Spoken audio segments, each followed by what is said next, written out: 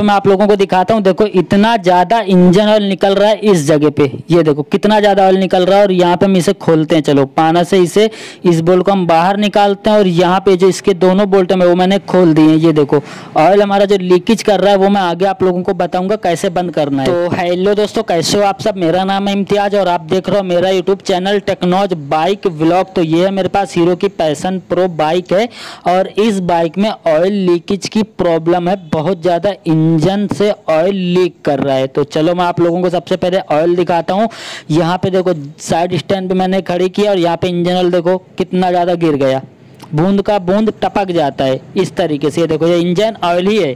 Side stand पे हम इसे लगा देंगे। आधा एक घंटे बाद इंजन ऑयल चूने लगता है। अब यहाँ पे मैं आप लोगों को दिखाऊँ तो नीचे की तरफ़, ये देखो, यहाँ पे हमारा जो ऑयल बोल्ट है, उसी से शायद इंजन ऑयल लीक कर रहा है, जो हमारा ऑयल बोल्ट है। तो चलो, अब मैं क्या करता हूँ, इस बाइक को जो इंजन ऑयल लीक कर हम जैसे साइड स्टैंड पे लगा देते हैं, हमारी बाइक का इंजन ऑयल लीक होना स्टार्ट हो जाता है। तो इस बाइक को हम क्या करते हैं, उस साइड में पूरी लिटा देते हैं। पूरी लिटाने के बाद आप लोगों को मैं दिखाता हूँ, इसमें किस जगह से प्रॉब्लम है और जो इंजन ऑयल इतना ज़्यादा लीक कर रहा है। तो सबसे पहले हमको पेट्रोल को बंद कर देना है ऑफ़ कर देना है। इस तरीके से ऑफ़ कर देना है। अब बाइक को ज़मीन में जैसे ही आप लोग लेटाओगे, हो सकता है यहाँ से आपका जो पेट्रोल है लीक हो जाए, गिरने लगे। तो इसके लिए टेंशन नहीं लेना है, थोड़ा पेट्रोल रहता है, वाटी में वो जो गिर जाता है, लेटाने के टाइम पे जब गाड़ी को गिरेगी या लेटाओगे तो ऑयल वहाँ से जो पेट्रोल है गिर जाता है। बाकी प्रॉब्लम नहीं लेने का। बस आप लोगों को ऑफ़ कर देना है पेट्रोल ऊपर से, और ज़्यादा पेट्रोल भी टंकी में नहीं रखना है कि फुल टैंक रखे हो और ज़मीन में लिटा दो। ऐसा कुछ नहीं करना है। तो अभी हमने बाइक को देखो, ज़मीन में इसके हम लिटा दिया है। अब मैं यहाँ पे इंजन ऑयल दिखाता हूँ, कितना ज़्यादा लीक कर रहा है। यहाँ पे आप लोग देखो खुद। ये देखो, पूरा जो इंजन है नीचे का, पूरा गीला हो गया पूरा। ये देखो, इतना ज़्यादा लीक कर रहा है इंजन ऑयल। और बहुत अच्छे से लीक कर रहा है। ये देखो ये देखो। बहुत अच्छे से लीक कर रहा है। तो चलो, यहाँ से भी, इस वाले बोल्ट से भी ऑयल शायद लीक कर रहा है। यहाँ पे भी देखो बॉन्ड वगैरह लगाई हुई है। तो ये वाला बोल्ट भी खोलेंगे। ये टाइमिंग जो हमारी टाइमिंग का होता है, वो है। और ये हमारा ऑयल बोल्ट, जिससे हमारा ऑयल ड्रेन होता है। तो इन दोनों बोल्ट को हमको खोलना है। क्योंकि दोनों बोल्ट से ऑयल लीक कर रहा है। शायद मुझे ऐसा लग रहा है। तो मैं इसका जो ऑयल लीक कर रहा है प्रॉपर बंद करके आप लोगों को बताऊँगा और दिखाऊँगा किस तरीके से हम इसे बंद कर रहे हैं। तो सबसे पहले सत्रह का पाना लेना है और ये वाला बोल्ट खोल देना है, जो हमारा ऑयल ड्रेन का बोल्ट है। इसे खोल देना ये टाइट तो फुल खुल रहा है, लेकिन फिर भी ऑयल लीक कर रहा है। मतलब समझे आप लोग? स्लिप नहीं है बोल्ट फिर भी ऑयल लीक कर रहा है। क्यों कर रहा है? चलो देखते हैं, खोलते हैं, खुद ही समझ में आ जाएगा, अभी आप लोगों को भी और मेरे भी। तो इस बोल्ट को हम पूरा इस तरीके से खोल लेंगे। ये हमारा बोल्ट खुल गया, हल्का सा ऑयल गिरेगा तो नीचे खाली डब्बा रख लेना आप लोग। अगर गिरे तो चलो मैं थोड़ा सा इंजन ऑयल इसका खाली डब्बा नीचे रख लेता हूँ, उसके बाद इसे निकाल लेता हूँ बाहर। तो अभी हमने जितना ऑयल था वो निकाल लिया, अब नहीं गिर रहा। थोड़ा ताड़ा गिरता है ज़्यादा नहीं गिरेगा। अब यहाँ पे जो इसमें हालत है, वो मैं आप लोगों को दिखाऊँगा, लेकिन उससे पहले ये वाला बोल्ट भी खोलते हैं। ये हमारे टाइमिंग चैन की जो स्प्रिंग होती है, उसी का बोल्ट है टेंसनर वाला। ये हमारी, ये जो बोल्ट हम इसे निकालते हैं, इसके अंदर जो एक स्प्रिंग होगी, वो स्प्रिंग को आप लोगों को ध्यान रखना है, किस तरीके से निकल रही उसी तरीके से सेम लगा देना है। तो इसमें तो स्प्रिंग लगी हुई है। अब इन दोनों बोल्ट से ऑयल क्यों लीक कर रहा है? चलो ये चेक करते हैं, यहाँ पे स्प्रिंग एक लगी हुई है।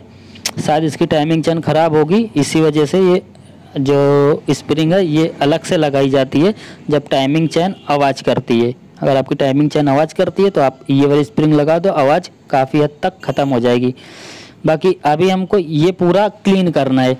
जितना भी ऑयल निकल रहा है, जितना भी दिख रहा है, पूरा क्लीन कर लेते हैं, और उसके बाद इसमें प्रॉब्लम बोल्ट में देखते हैं।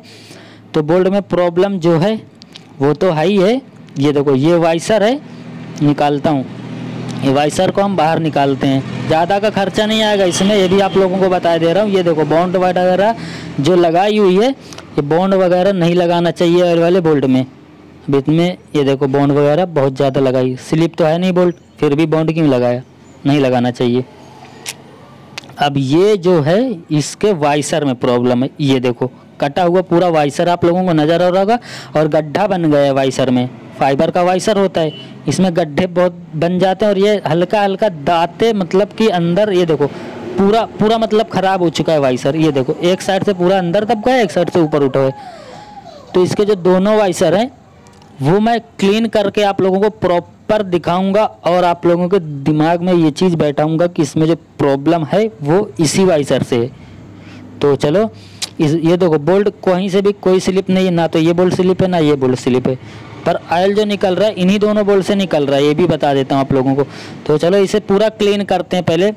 पूरा क्लीन करते हैं और उसके बाद ये जो वाइसर हैं, इनकी मैं हालत आप लोगों को दिखाऊँगा। देखो, बहुत ज़्यादा वाइसर जो है वो ख़राब है। तो पूरा कुछ क्लीन करते हैं, चलो अब। तो हमने सारा कुछ यहाँ पे क्लीन कर लिया है। ये देखो क्लीन कर रही जितना भी पुराना ऑयल था, पहले का मट्टी वगैरह जो जमा हुई थी, सारी निकाल दिया है। और अब आप लोगों को वाइसर दिखाता हूँ। ये इसके दोनों बोल्ट हैं जो मैंने क्लीन कर लिए हैं।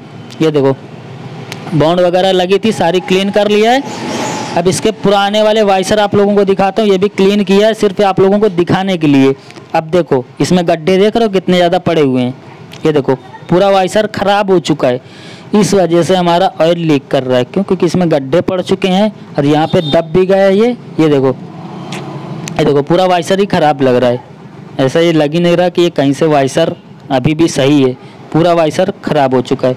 जो इसका है ऑयल वाले बोल का तो यहाँ पे मैं इसे लगा के दिखाता हूँ। ये देखो, इसमें गड्ढे देखो कितने ज़्यादा वाइसर में पड़े हुए हैं। इन्हीं के ज़रिए से हमारा पेट्रोल जो ऑयल है वो धीरे धीरे लीक कर रहा था बाहर। तो ये वाइसर हमको करना पड़ेगा चेंज ज़्यादा महँगा नहीं आएगा। ये देखो लाइनिंग भी इसमें बन चुकी है। तो चलो, दूसरा वाला वाइसर दिखा देता हूँ आप लोगों को। ये हमारा, ये टाइमिंग वाला है, जो स्प्रिंग के साथ निकला था, ये भी देखो। इसमें पूरा ख़राब हो चुका वाइसर, एक तरफ़ गड्ढा हो चुका है इसमें। इसमें से भी और लीक कर रहा था। इसमें भी देखो पूरे में वाइसर में गड्ढे पड़े हुए हैं, जो यहाँ पे लगता है, चलो, अब हम नए वाइसर आप लोगों को दिखाते हैं।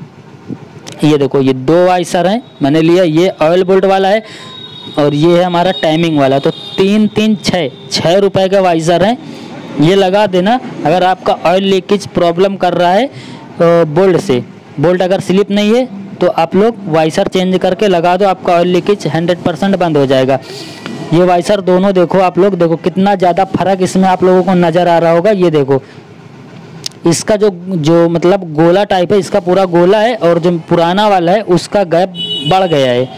ये देखो, ये तिरछा मिर्चा, पता नहीं कैसे वाइसर हो चुका है, टाइट कर करके। अभी वाइसर हम, ये यहाँ पे लगेगा।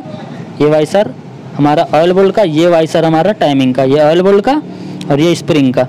तो चलो, अब इन्हें लगाते हैं। और आप लोगों को प्रॉपर दिखाएँगे। आप लोग वीडियो पे बने रहना, वीडियो को लाइक नहीं किए तो वीडियो को लाइक ज़रूर कर देना। यहाँ पे इसे हम लगा लेते हैं, ये ऑयल बोल का हो गया और ये जो बड़ा वाइसर थोड़ा आता है इससे, ये यहाँ पे लगेगा कुछ इस तरीके से, यहाँ पे। अब जो हमारा ऑयल लीकेज की जो समस्या थी, वो पूरी तरीके से हंड्रेड इन परसेंट ख़त्म हो जाएगी। वाइसर हमने लगा दिया, अब इन दोनों बोल को कुछ भी नहीं लगाना है। थ्री बॉन्ड टिप वगैरह कुछ भी नहीं लगाना है।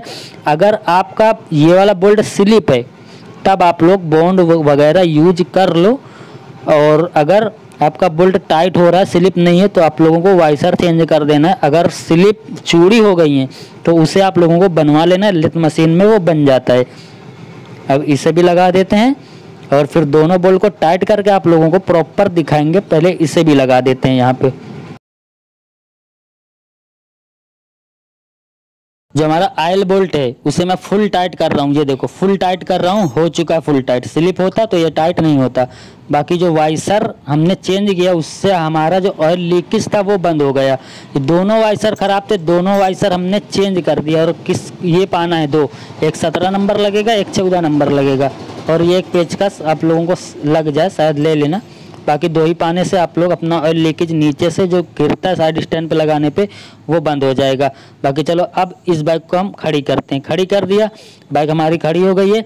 और अब मैं इसे एक घंटा खड़ी रखूँगा, एक घंटे के बाद वीडियो बनाऊँगा। और आप लोगों को प्रॉपर ज़मीन में भी दिखाऊँगा ऑयल गिरा या नहीं। इससे पहले तो देखा था आप लोगों ने ऑयल कितना ज़्यादा गिरा था। बाकी अभी हमारी बाइक एक घंटे से खड़ी हुई है, एक घंटा हो चुका है प्रॉपर मुझे, और ये साइड स्टैंड पे ही खड़ी हुई है। और अभी यहाँ पे आप लोग देखो, ज़मीन में एक बूंद भी इंजन ऑयल गिरा हुआ नहीं दिखेगा आप लोगों को। और यहाँ पे दिखा देता हूँ, चलो यहाँ पे भी ये देखो, जिस तरीके से हमने क्लीन किया था, उसी तरीके से ये क्लीन है। ना बोल्ट पे बोल्ट पे एक जरा से भी ऑयल नहीं आया, दोनों बोल्ट हमारे बिल्कुल उसी तरीके से क्लीन है। एक घंटे के बाद अगर यहाँ से लीकेज होता तो अब तक हो जाता और ऑयल नीचे भी गिर जाता। दोनों बोल्ट आप लोग देख लो, दोनों बोल्ट बिल्कुल क्लीन है। तो इस तरीके से हमने इस बाइक का ऑयल लीकेज की जो प्रॉब्लम थी, वो हमने बंद किया। इसमें प्रॉब्लम सिर्फ़ दो ही थी, दो वाइसर हमने चेंज किया और वाइसर कितने के? छः रुपये के। बाकी चलो, आप लोगों को सारी जानकारी मिल गई होगी तो ये वीडियो को करते हैं एंड वीडियो अच्छी लगी हो तो आप लोग मुझे कमेंट्स करके ज़रूर बता देना। और अभी तक आप लोगों ने वीडियो को लाइक नहीं किया तो वीडियो को लाइक करके चैनल को ज़रूर सब्सक्राइब कर लेना। तो चलो मिलते हैं नेक्स्ट वीडियो में।